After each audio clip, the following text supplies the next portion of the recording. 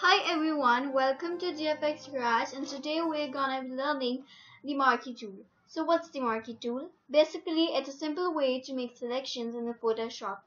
In this video we're gonna show you the rectangular, square, elliptical and circle marquee.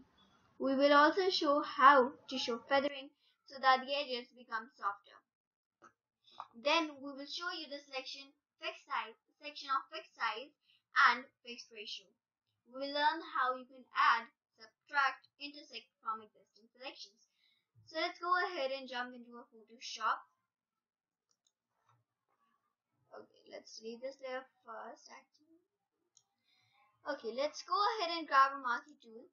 You could grab it, you could hit M in your keyboard to grab the marquee tool or you could just click it here. It's a very simple thing, just click and drag to select.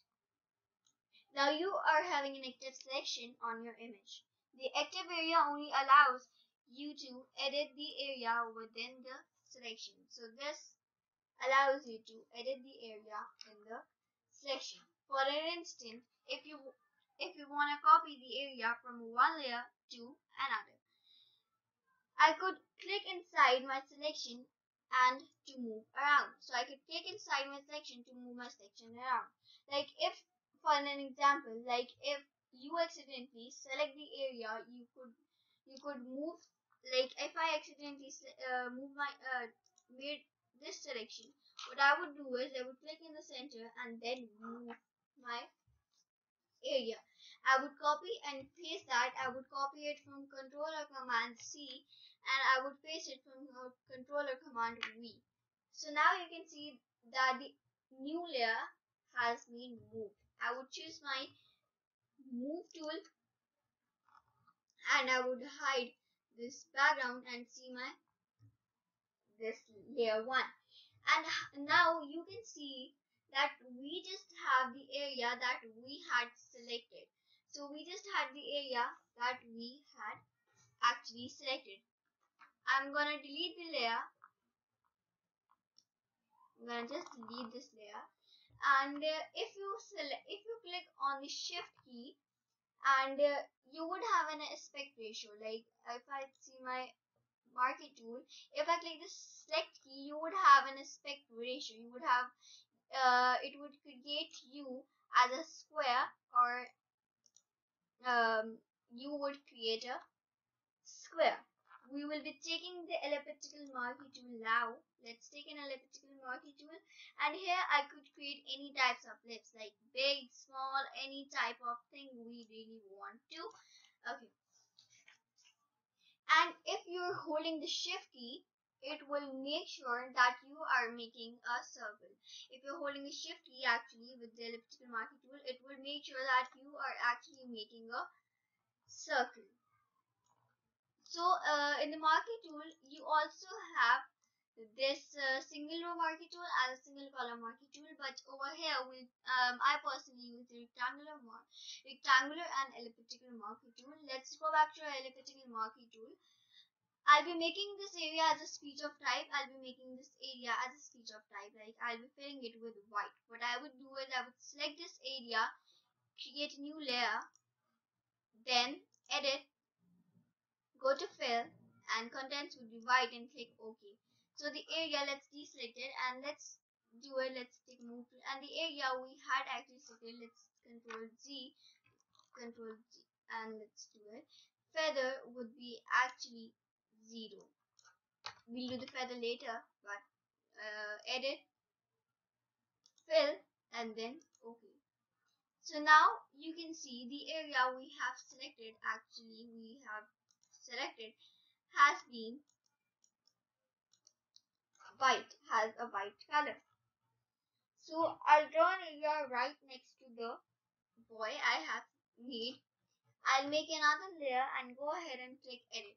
So this is what I have done. I'll, I'm just repeating it. I'll make another layer and I'll go ahead and click edit and then click fill and will click on the white and that fills the area with white and let I have deselected it and you could move it from your move tool and let's delete this image okay let's go ahead on filling selections actually. So let's go ahead on our filling selections. Okay. So if I select the area, filling uh, feathering selections actually. Let's go ahead on our filling selections, which actually softens the edges.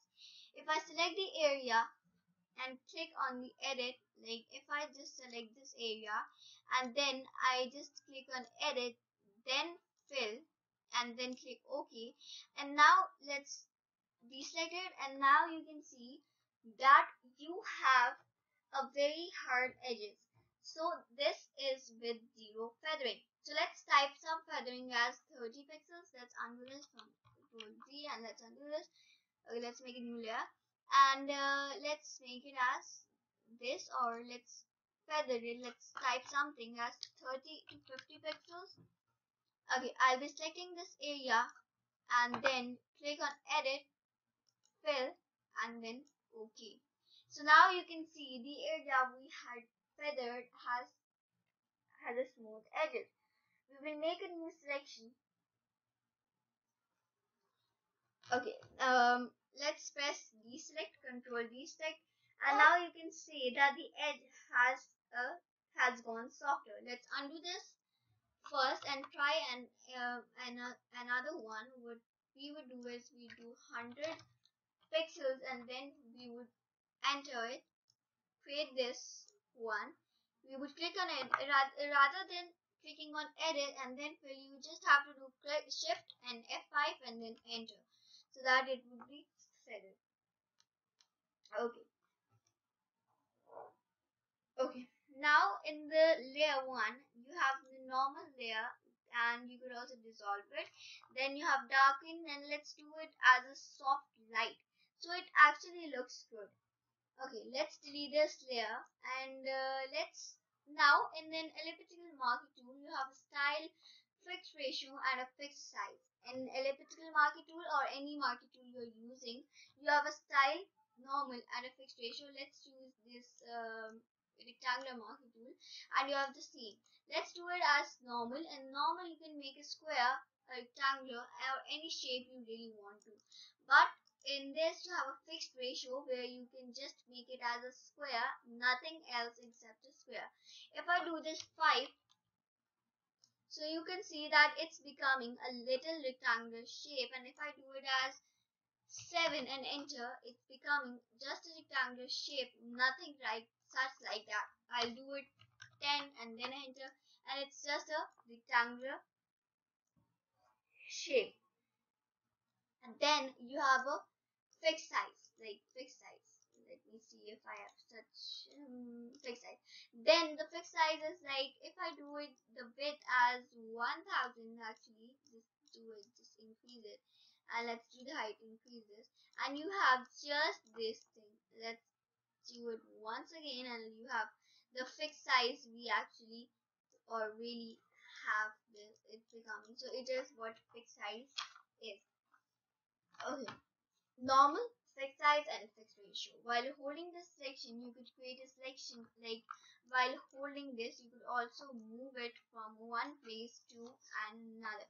If I zoom in from control plus, I could move it by spacebar, clicking pressing spacebar, and then you could also move this. And let's un uh, let's go back to uh, like control zero. Okay, okay. Now if I have this as normal and I have selected this area and I want to also select this area but the area I've selected first has disappeared. What I would do is I would select this area I would press shift and then to this area I would just select this area and this area has joined from one to another now, if we want to subtract from selection, what we would do is we would click on Alt. Then we have uh, we would select the area we have to subtract. I want to subtract this area. I would select this area, and this has, area has subtracted. So this area has been subtracted. Okay. if I want to intersect from selection, if I really want to intersect from selection, what I would do is shift alt and then uh, have th that area which I really want. So I just have this area left. I'll click shift alt and drag for my intersect selection and it will just help us inter intersect between these two. If you do not want to learn this, that's okay. You could just choose it from like when you go in the top corner, left corner, you have a new selection. You have add from selection, you have subtract from selection, and then you have intersect with selection, where it makes a new new selection, it adds a new selection, then it subtracts a new selection, and then it intersects a new selection. So this was